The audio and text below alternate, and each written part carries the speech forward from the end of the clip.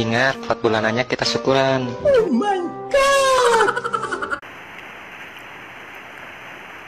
endingnya nggak sesuai yang diharapkan guys